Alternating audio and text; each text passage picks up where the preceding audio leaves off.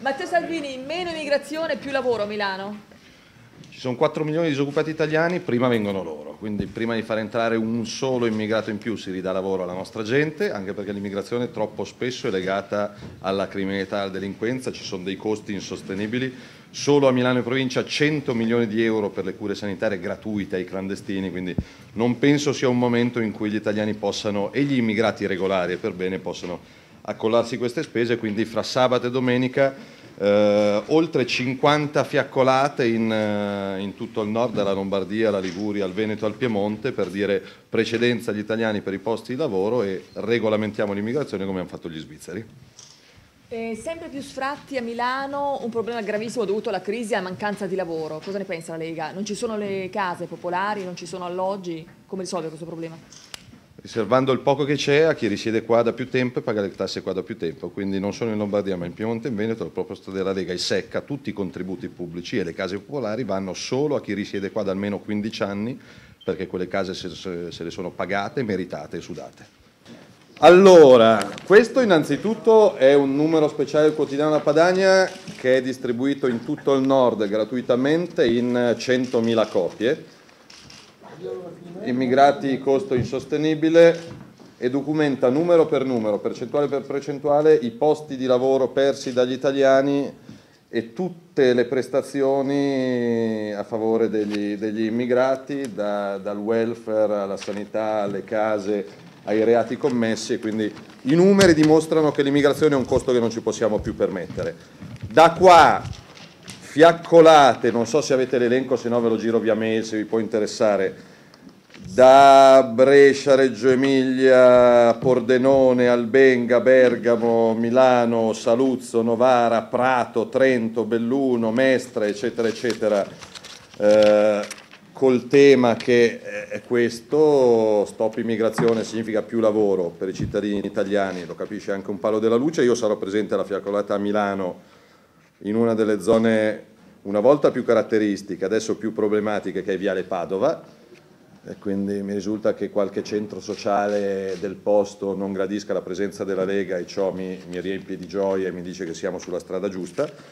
Eh, il tema che porteremo anche sul tavolo di Renzi, qualora dalla guerra all'ultimo sangue sopravvivesse lui invece di quell'altro, è il lavoro innanzitutto e quindi tutelare al massimo il lavoro, cosa che il governo non sta facendo venendo qua ho parlato col delegato della FIOM e la Lega riesce a essere interlocutrice anche di eh, realtà lontane da noi, ma nel nome della concretezza il caso della Franco Tosi di Legnano, 400 posti di lavoro a rischio con una soluzione imprenditoriale seria portata di mano, ignorata dal ministro, spero ex ministro Zanonato, è il caso più eclatante. Quindi la, la, la priorità è salvare il lavoro e quindi bloccare l'immigrazione che fa concorrenza a basso costo ai disoccupati italiani.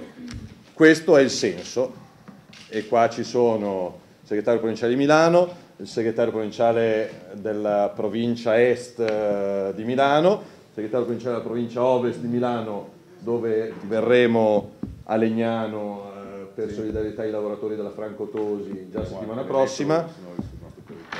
Esatto, eh, l'assessore alla sicurezza e il consigliere Lepore, visto che è una partita che ci giochiamo tutti insieme. Quindi la priorità per noi è il lavoro e legare l'immigrazione incontrollata al fatto che gli italiani il lavoro lo trovano sempre più difficilmente, l'hanno fatto gli svizzeri, non sono più geniali di noi, quindi potremmo farlo anche noi. Domande? Come si svolgeranno i cortei? In maniera disordinata, danneggeremo macchine, banche, incendieremo negozi e lasceremo scritte ovunque, giusto per fare un corteo un po' diverso dal solito. Scritte basta, no, scritte sì all'euro, così sì all'euro firmate PD, così almeno faremo qualcosa di diverso dal solito. Avete avuto contatti con quelle forze europee con cui siete diciamo, Assolutamente sì. I contatti sono settimanali, faremo iniziative comuni prima del voto europeo, sia in Francia che in Austria che in Olanda, eh, nel nome dell'altra Europa possibile. E poi domenica comincia il Basta Eurotour, questa è l'anteprima della copertina del libro che distribuiamo gratuitamente da settimana prossima, per una cosa alla volta, oggi parliamo di lavoro, domani parliamo di euro.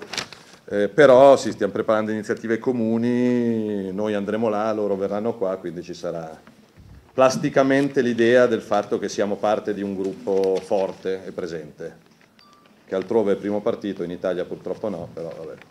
Nel caso si tornasse, si uscisse dall'euro, non abbandonare l'euro court, ma istituire delle monete parallele per macro regioni? La priorità è rendersi conto che l'euro è la morte dell'economia italiana, francese, spagnola, cioè l'euro ha fatto la gioia dei tedeschi, punto. Quindi su questo siamo soli, perché anche Grillo eh, dice non ho mai detto di uscire dall'euro, noi invece diciamo chiaramente e palesemente che fuori dall'euro riparte il lavoro sul cosa c'è dopo ci sono due o tre dibattiti economici aperti, l'euro a due velocità, tre o quattro monete differenziate per aree omogenee, il ritorno alla lira e alle monete nazionali, stiamo esaminando con alcuni esperti quale sarebbe la più conveniente, l'importante è mollare questo euro. Poi quello che c'è dopo, prima bisogna spegnere l'incendio, l'incendio si chiama euro, poi si ricostruisce la casa e vedremo a breve come. Ieri hai detto che comunque non è, un, non è un no a priori nei confronti di un ipotetico incarico a Renzi. Sì. Cioè questo significa che la Lega si potrebbe astenere come... Questo significa che mai nella vita entreremo in un governo evidentemente di sinistra eh, chiaro e preciso. Significa che però ci pagano per risolvere i problemi e dare delle risposte, non per dire dei no a priori come fa qualcun altro e quindi vuol dire che il minuto dopo che Renzi ricevesse l'incarico noi andremo, chiederemo un incontro per parlargli di esenzione fiscale per gli alluvionati, di abolizione della riforma Fornero, di, di ribaltare i tavoli a Bruxelles e riprenderci la sovranità.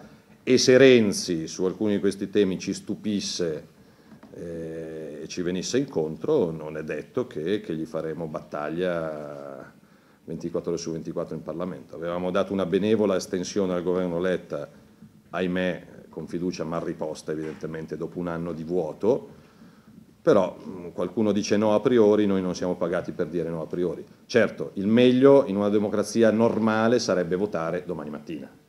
Cioè in una democrazia normale il terzo Presidente del Consiglio non eletto da nessuno funziona a Cuba o in Corea del Nord, dove si passano fra compagni la staffetta però visto che non siamo in una democrazia normale, eh, quantomeno vediamo di portare a casa qualche risultato per la nostra gente. E che idea ti sei fatto dello spettacolo che sta dando? Squallido, squallido. A parti invertite, se ci fosse simile teatrino nel nome della poltrona, con la Lega o col centrodestra protagonista, avremmo girotondi ovunque, indignati ovunque, avremmo le Lelle Costa, i Fabio Fazio, gli, i vecchioni, gli indignati di professione, gli studenti, e in no global a fare casino ovunque. Qua c'è il PD che tiene in ostaggio il paese e sembra quasi normale. A me sembra che, che stiano vivendo la fine del Sacro Romano Impero e gli crollerà tutto in testa. Però...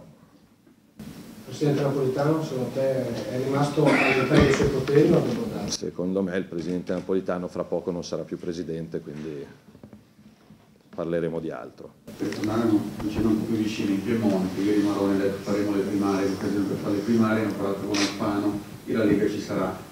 È ipotizzabile un quota che si ripresenta alle primarie oppure giocherete qualche altro modo? Noi, noi riteniamo di avere salvato il Piemonte dal sicuro collasso, il Piemonte era in bancarotta, la gestione di sinistra del Piemonte aveva portato a livelli della regione Lazio o, a livelli di regione Campania, cioè il Piemonte era, era il profondo sud eh, vicino alle Alpi. Abbiamo salvato il Piemonte e i piemontesi dal disastro economico, ne siamo orgogliosi. Io ho chiesto a Cota di andare avanti a fare quello che stava facendo, lui è ovviamente giustamente fra l'incazzato, l'imbufalito e l'amareggiato. Le primarie secondo me sono sempre una sana dose di, di, di coinvolgimento, di partecipazione e di democrazia, quindi il candidato lo sceglieranno i piemontesi dal mio punto di vista io spero che ci sarà anche un'opzione leghista, non dico, non sta a me fare nomi e cognomi, però offriremo alla coalizione dei piemontesi, anche perché la sinistra ha deciso in salotto, in centro a Torino, anzi in banca a Torino chi è il suo candidato. E quindi fortunatamente il Piemonte non sono, non sono solo le banche torinesi e quindi spero che il candidato venga fuori dalla provincia e che la provincia vincerà 3 a 1. Non sono automatiche ricandidature di non c'è niente di automatico nella vita, io gliel'ho chiesto. Secondo me, visto, visto il vergognoso sovvertimento del voto popolare, io gliel'ho chiesto. Poi, essendo essere umano anche lui è stufo di essere massacrato dopo aver salvato una regione. Però la Lega ci sarà,